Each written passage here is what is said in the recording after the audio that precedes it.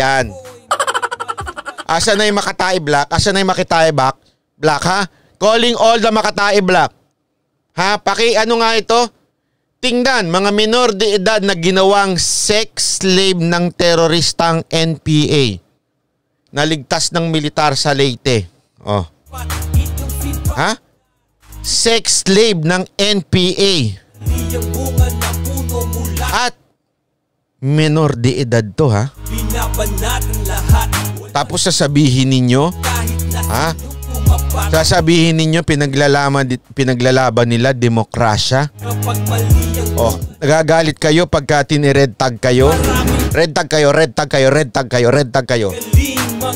Eh kayo na nga eh, magkakasama nga kayo, 'di ba? Pag ano pistok, CPP, NPA, NDF. Oh. Ibig sabihin magkakasama kayo CPP, terorista at NDF, kayong mga party list. Tapos magagalit kayo red tag. Alam mo bakit ganyan? Ha? Bakit ganyan ang pag-iisip nila? Oh, eto ha. Papakita ko isa sa mga pinuno ng katangahan sa mga makabayan black. Ito si Teddy Casino. Oh. Sabi niya, How can we denounce a movement that fight for national democracy and socialism? We, might, we might not be part of their armed struggle but we recognize and respect them as revolutionary movement of oppressed people and classes. Sinungaling ka! Teddy Casino, sinungaling ka. Paano mo masasabing pinaglalaban nilang oppressed people? Eh sila nga mismo may sex slave na mga minor de edad. Sinungaling kang Teddy Casino ka.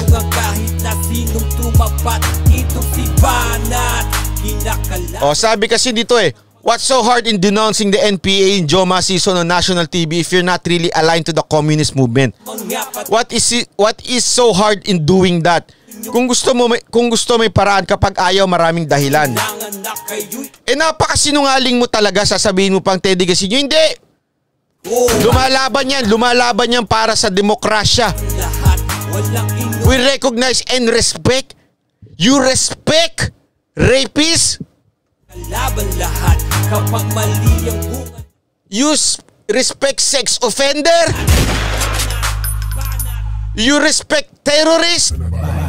Murderers, killers? You respect them and say they do not oppress people? How dare you? ha? Asan kayo? Asan kayong Gabriela? Ha? Nakakainis eh. Nakakaano eh. Tinan mo. Minor de edad ginawang sex slave ng mga NPA? Tapos sasabihin nyo, you respect them? God, I hate drugs. Tingnan mo kung gaano kayo kababoy. Tapos magagalit kayo sa amin kung sasabihin namin mga mga terrorist sympathizer kayo? Mga terrorist sympathizer? Ang lakas ng loob mo, Teddy Casino, sabihin mo pang you respect them? You respect sex slaves? Mga nagsisex slaves? Mga rapist? Mga sex offender? Mga murderers? You respect them? Maya ka naman sa balat mo? Hayop kayo, hayop ang tawag sa inyo. Kung ayaw nyo kayong tawaging NPA terorista, ang tawag namin sa inyo mga animal. Mga demonyo. Galit na galit kayo sa EGK, EGK. Eh kung totoo man yun, sabihin na natin totoo yun ha. Kunwari lang, ang pinapatay ng mga ano mga drug addict, mga pusher. Oh. Eh dito, mga minor de edad to ha, mga inosenteng bata to, ginagahasa, ginagawang sex slave. Baka siguro, ang gimmick ng mga NPA dyan, interview namin kayo. Walang inuurungan kahit na sinong tumapat. Kamusta na Arn Arn? Pinakalaban lahat kapag mali ang bunga ng Di ba kung hindi ka bastusan no ito? Unti-unting nagbabago mga galaw. Oh, di ba? O oh, yung CHR na nagreklamo, tinapesan daw ng budget. Eh kailangan daw nila para bumiyahe sa mga probinsya. Eh kung effective naman talaga kayo, sigurado akong bibigyan kayo ng mataas na budget. Eh pero hindi eh. Oy, 2 hours na tayo nagbabanatan!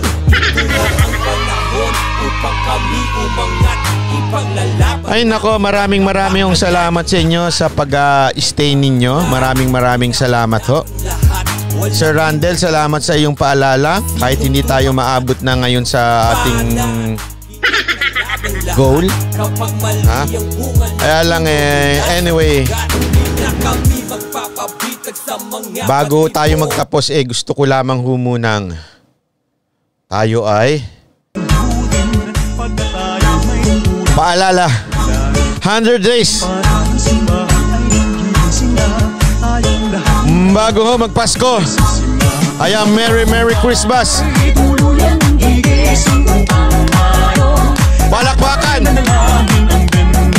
Binabati natin si Arn Arn. Kamusta na ang Pasko mo, Mr. Arn Arn? Kamusta na ba? Meron ka naman pamasko sa anak mo kay uh, di umanong anak mo kay ano kay uh, Madam Balabagan? Anong pamasko mo sa anak mo? Dalaw-dalawin mo naman siya. Baka naman di mo sinusuportahan. Suportahan mo naman siya, yung anak mo, si uh, Mr. Arn Arn. Suportahan mo siya, tapos sabay sorry ka na rin. 99 days actually, it's already September 7. Sabi ko nga, ang kulit naman eh. Hindi pa ako natutulog, kaya 100 days pa lang sa akin. Magkabalik na tayo ng oras. Internet time ako, internet time. Ang bukas sa akin yung ano pa, pagising ko pa sa tanghali. Ha? Sabi niya hindi na daw siya magso-social media, nag-live na daw siya. Bakit? Siguro, eh, nahi, ano ka na, nahiya ka na.